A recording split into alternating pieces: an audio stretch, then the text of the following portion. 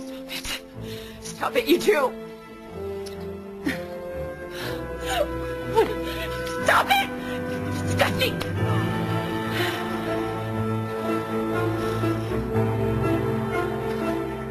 I can't quite believe I said that.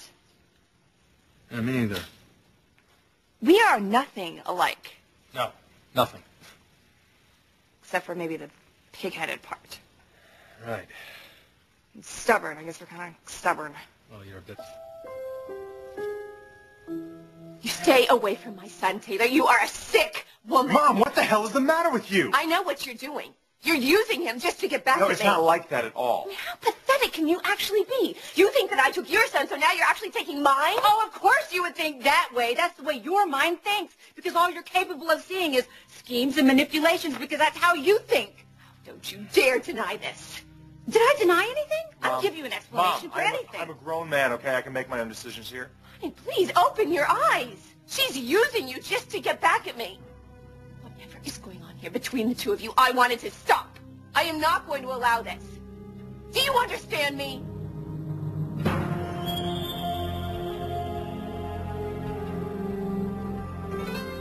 Bye.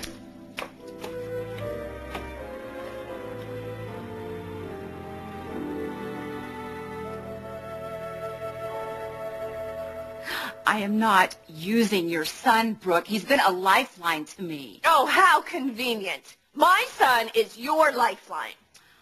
Well, how does that feel now, Brooke? Being on the receiving end, hmm? There. You just admitted to using him. I admitted to what? It is clear that this is an orchestrated attempt to get revenge by manipulating my son's feelings. Oh, feelings. my God. Mom, will you just stop it, please? Oh, my gosh, is right. That's something you would pull, but not me. No, I am just starting to realize what a wonderful young man Rick is. That's right. He is wonderful, and he is young. Much too young for you. Well, that's exactly what I used to think. But you know what? He's been the only person who's been there for me, supporting me, and standing beside me, even standing up to you, Brooke, his own mother. Oh, my God. This is making me absolutely ill. Can you stop being so dramatic? Rick, I am very thankful to you, and I'm honored, and I'm flattered. I'm flattered about the feelings you have for me. You've been there for me at a time that's been absolutely horrific. And I care about you.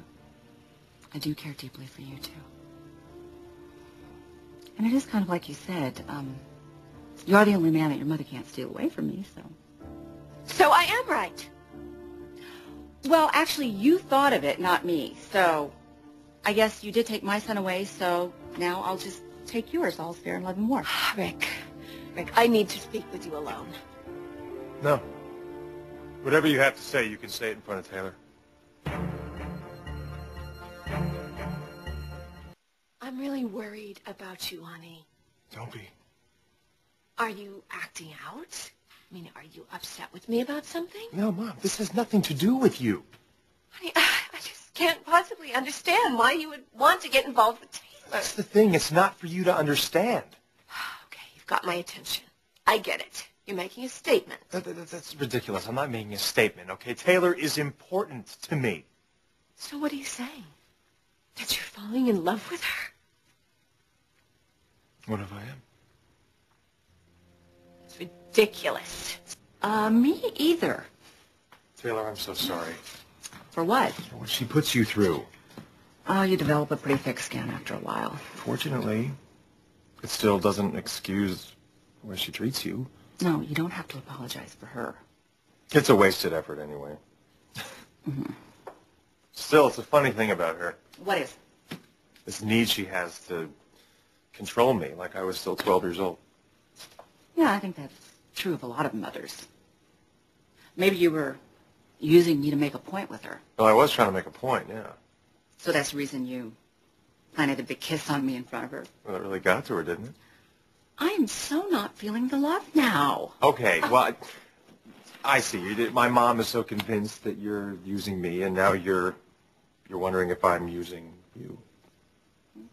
Are you? You know, something has just come over me, and I can't really explain it. You mean when you kissed me Yeah. in front of your mother. The kiss, was it for me or was it for her? Both. Well, at least you're honest. Everything I've ever said to you has been honest. I believe you.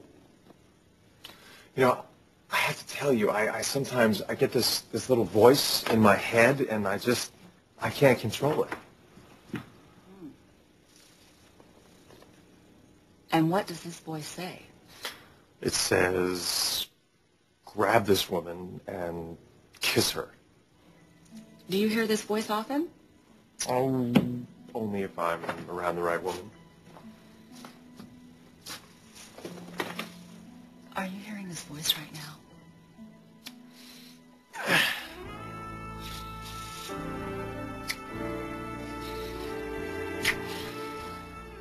Does that answer your question? I'm hearing a little voice too. It's saying, let's get out of here before your mother comes back.